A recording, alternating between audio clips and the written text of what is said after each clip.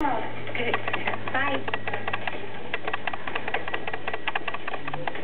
So, since when are you into karate? I've always been into karate. Okay, I'm not. But uh, I am into getting a date with Alice Daluska. Wait, you've got a date with Alice DeLuca? Yep. That's huge. First she knocked me out. Then we talked a little bit. Now she wants me to escort her to the mayor's ball. The, mayor's ball? Tomorrow. Down at the lodge?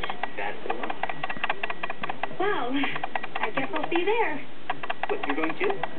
Yeah, I'm bussing tables to Miss Fishbein. Then we'll all be there together. Yeah.